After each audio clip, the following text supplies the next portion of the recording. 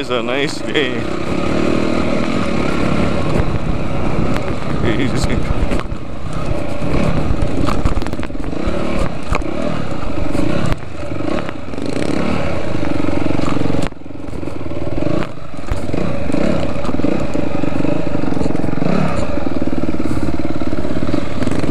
Wow, nice.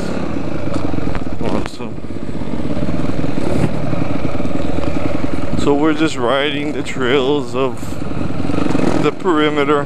This is uh, really like entry level stuff, but um, it's a good ride. I mean, it's good for like if you're taking some guys and they just wanna um, have fun, you know. It's uh, not strenuous at all. You can just ride at your own pace, and you surely will find people that